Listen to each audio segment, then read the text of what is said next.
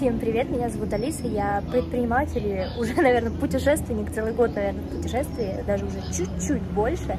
Сегодня покажу вам остров Нуса Пенида, вы сто процентов про него слышали, он находится очень близко от Бали, но туда надо плыть на пароме. И когда я была таким отпускным путешественником и ездила только несколько раз в год на там, пару недель, мне казалось, что плыть куда-то на пароме это очень замудренно, сложно и так далее. На самом деле это просто, особенно если вы водите байк, можно прямо на байке заезжать на этот паром и ехать на остров, и я считаю, что посмотреть стоит. Лучше, э, точнее не лучше, из-за расписания паромов вам придется ехать с ночевкой. Мы были три дня, но все, что мы посмотрели, в принципе, можно посмотреть и за один день. А, поэтому приятного просмотра, поехали!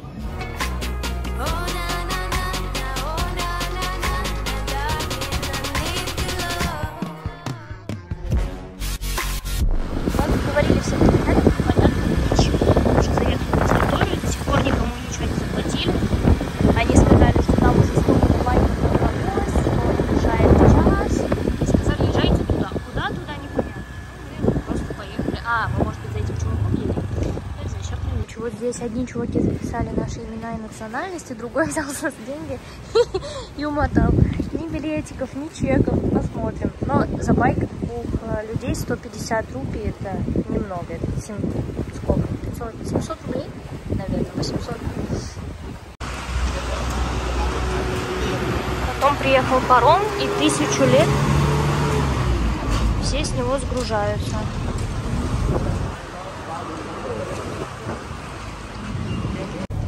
Примерно так же, как и в Таиланде, даже продается вот всякая фигня.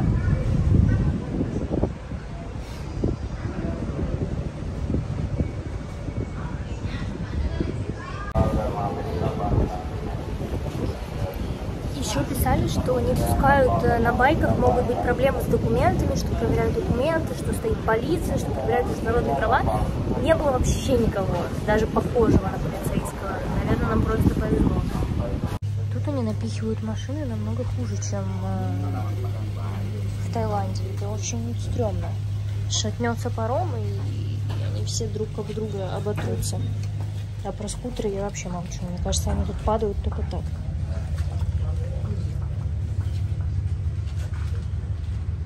You?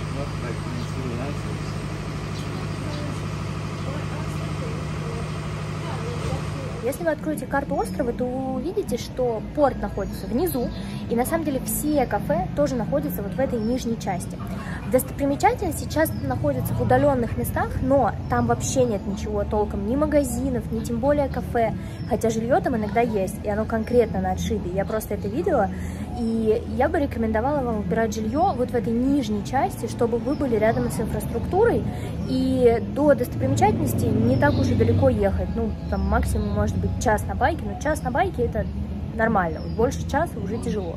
Чаще даже, я бы сказала, минут 40. И что еще важно про байк, там плохие дороги. Что это значит? Что они узкие, извилистые, и они не столько плохие, сколько опасные. Поэтому, если вы неопытный водитель байка, то либо берите, значит, какой-то трансфер, либо будьте супер аккуратны, потому что есть ямы неожиданные, есть какой-то песок, есть опасные повороты, иногда выезжают на встречку, поэтому будьте э, на байке предельно осторожны, дороги хуже, чем на байке. Еще удивительно, как напоминает фангар, когда съезжаешь с парома. Если вы местами не традиционные башни, хотя сейчас их даже нет, можно сказать, что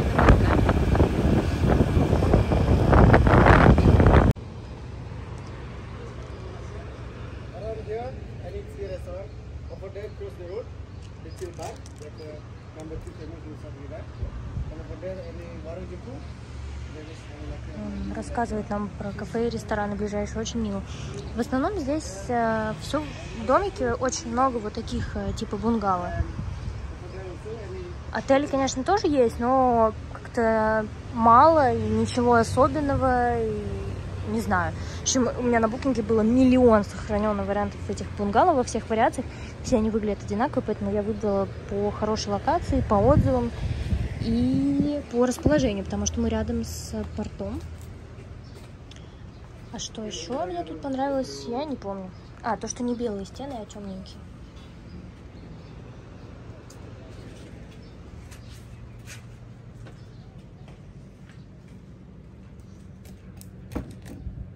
We even have a TV, so cute.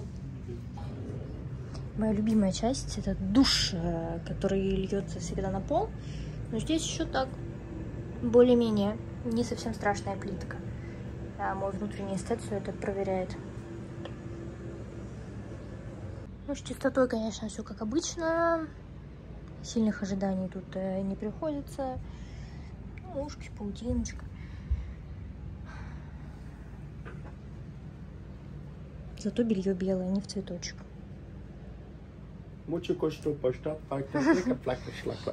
Да, это как Кевин слышит русский язык со стороны. Одно из двух э, самых популярных, наверное, кафе. Ну, так, симпатичненько. Мухи. Сейчас свет не очень, но утром, днем или с красивым закатом, наверное, вообще роскошно. И счастливый час, два коктейльчика бесплатно, но так они приносят сразу два, нельзя по очереди, и одинаковых. Милейшее, что есть в этом номере, это эти странные лампы, которые сверкают, как лава-лампа. Блин, на видео не видно. А, нет, видно. Она перемещается. После дождя дорога на... О, ладно, достопримечательность. Так себе.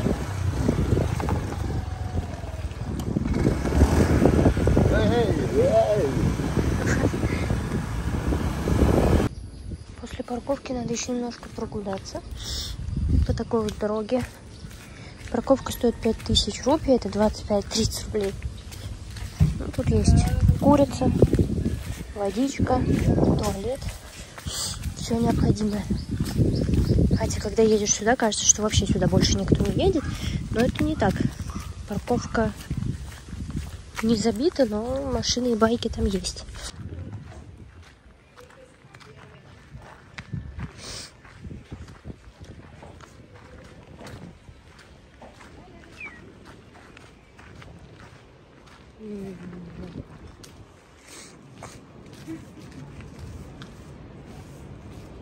Очень похоже на Улван.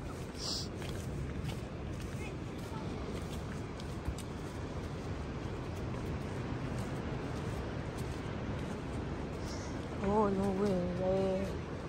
People very far. That one which uh, you see.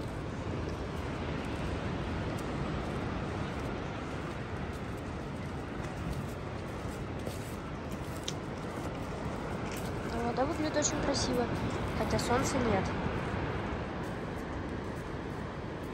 Что-то начинают лететь э, фотографирование в туристических местах. Значит, я хотела сфоткаться. Они э, прошли вперед.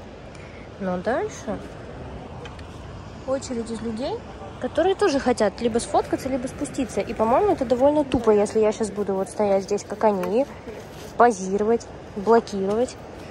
В чем суть э, наслаждения видом, если мы все приходим сюда и тратим время на стояние в очереди и попытках сфоткаться.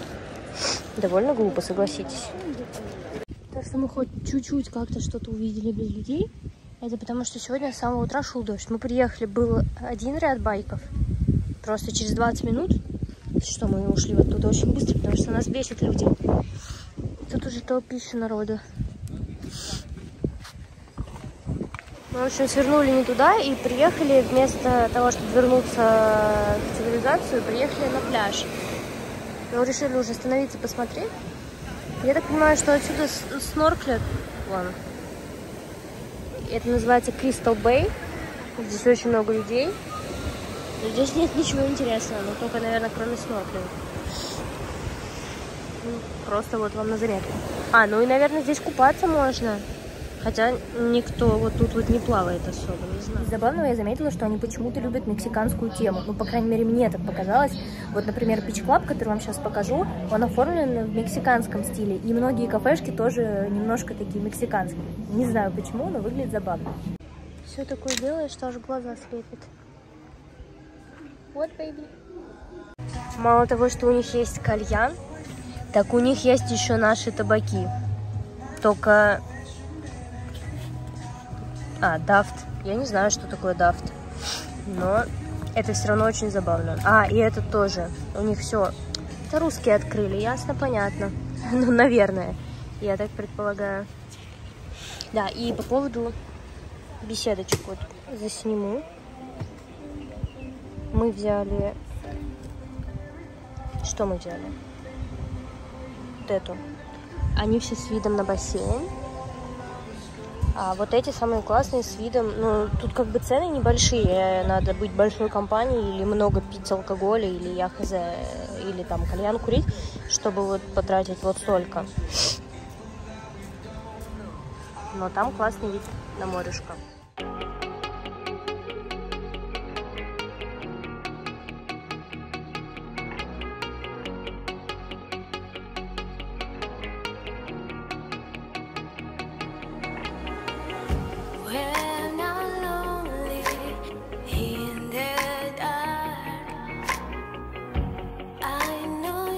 Очередной раз, как можно говорить что-то про погоду, если утром был дождь, потом мы сгорели, потому что было палящее солнце, и просто резко в один момент, солнце еще даже толком не ушло, но началась буря. Они вон позакрывали все зонтики. Что за русалочка?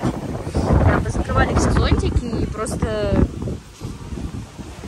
забавно.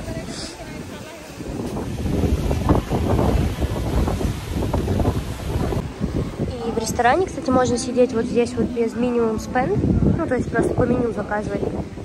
При этом все равно можно купаться в бассейне, но нужно будет тогда заплатить немножко, по-моему, 150 рублей на наши деньги за аренду полотенца.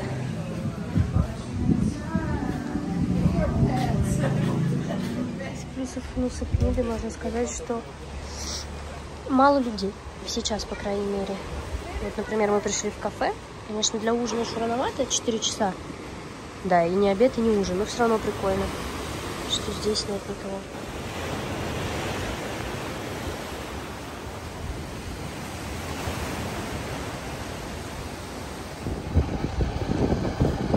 Двадцать пять тысяч стоит вход и пять тысяч паркинг мотобайка. И они дали водичку в подарок, мило. Правда, мы не собираемся идти вниз. Так что мы заплатили, видимо, просто за вид.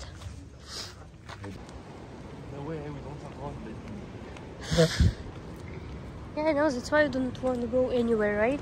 You can stay at home because we have no drone now. Там внизу вот такой красивый пляж. Народу довольно много.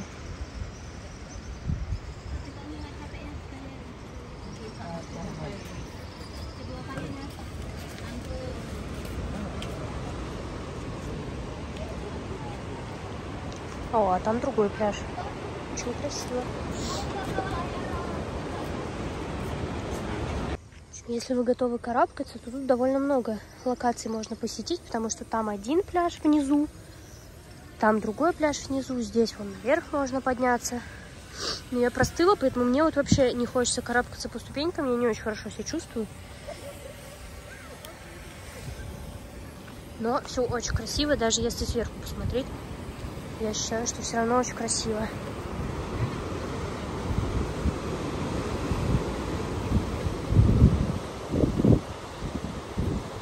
Отсюда хорошо видно лестницу, по которой нужно чтобы попасть на пляж. Вот она, вот она, вот она. И дальше, дальше вниз. Очень красиво, но я определенно не хочу.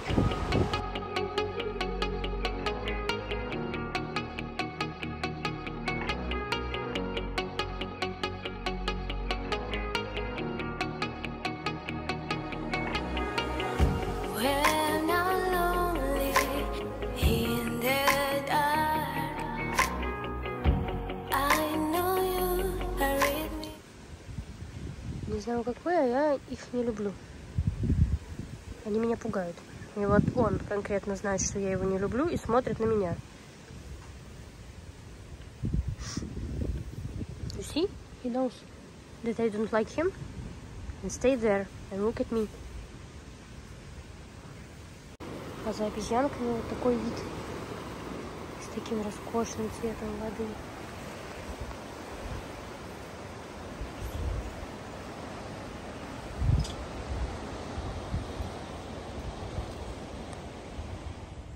Всем дарам цивилизации, таким как заправка или банкомат, здесь очереди. Днем, вечером, имейте в виду. Днем, наверное, очень красиво, потому что это все с видом на водичку и, конечно, с соответствующими звуками. Вот так вот выглядит простенько, но то, что на берегу, это очень прикольно.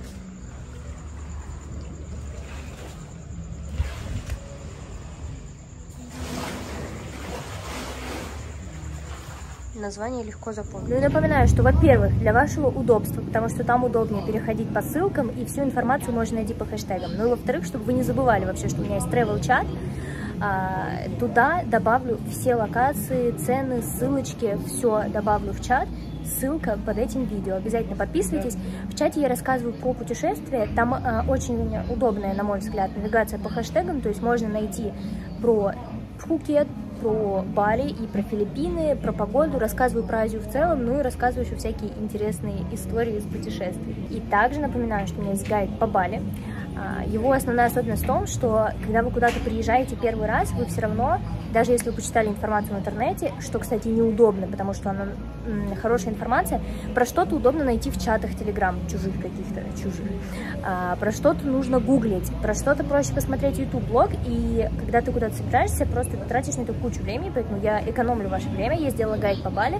Там, во-первых, а, всякие полезные места, а, всякие достопримечательности, но самое главное — все, что вам нужно знать перед поездкой, как искать жилье, чтобы вы не чувствовали себя потерянными, чтобы вас никто не нагрел на деньги. Ну, просто вот все, что вам нужно в этом гайде, ссылка тоже есть под этим видео. На Бали как-то совсем все не очевидно, потому что я вбила слово «ферри», и я не помню, откуда мы выехали. Наверное, это здесь, но почему-то там нет особо отзывов в Google картах. Вот такое здание, и я предполагаю, что в нем мы купим билет. Сейчас проверю для тех из вас, кто поедет, чтобы потом не путались.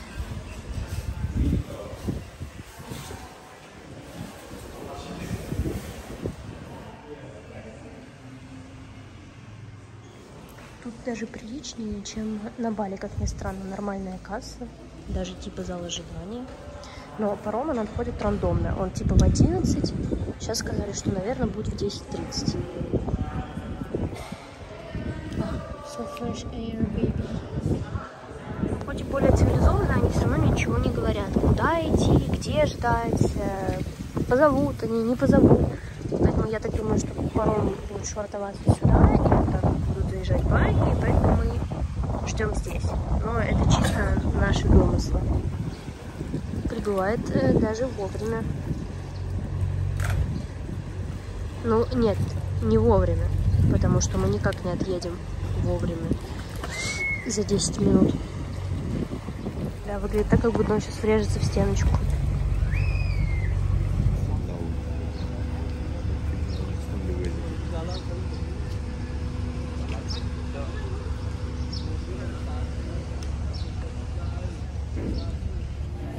Спасибо, что досмотрели до конца. Надеюсь, это видео было вам полезно, и вы составили для себя впечатление о Нуса Пенида и решили туда ехать или не ехать. Подписывайтесь обязательно на мой канал, ставьте лайки этому видео, а, и увидимся с вами в следующих роликах. Кстати, еще у меня очень много есть шортс, коротеньких роликов, в которых а, точечно тоже собрана полезная информация, в том числе по Бали, поэтому не поленитесь, посмотрите, вам пригодится. Последнее напоминание на сегодня, что в Инстаграм я, конечно, в сторис много показываю свои путешествия, и показываю в моменте, потому что пока я монтирую видео на YouTube, проходит какое-то время, а самые свежие впечатления и мое местонахождение, потому что я перемещаюсь, сейчас я уже на Филиппинах, дальше я буду в Стамбуле, дальше какое-то время буду в Москве, дальше кое-что тоже будет интересное, поэтому обязательно на Инстаграм тоже подписывайтесь, будем с вами на связи.